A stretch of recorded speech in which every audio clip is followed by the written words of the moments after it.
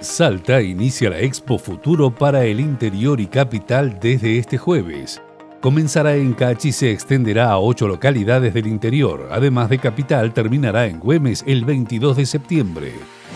El gobierno trabaja activamente en un plan para el desarrollo de la Puna salteña. Diseña un proyecto integral que toma como base las obras que se ejecutan y las que se proyectan en materia vial, de salud, turismo, educación y otras áreas.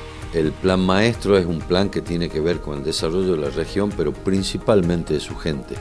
Eh, el desarrollo de la gente tiene desde recreación hasta necesidades básicas como el agua y saneamiento.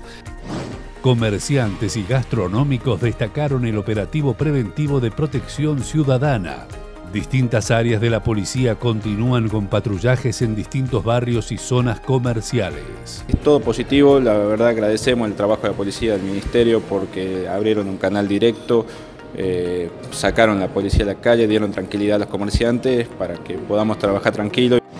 El Hospital Señor del Milagro habilitó un consultorio de endocrinología.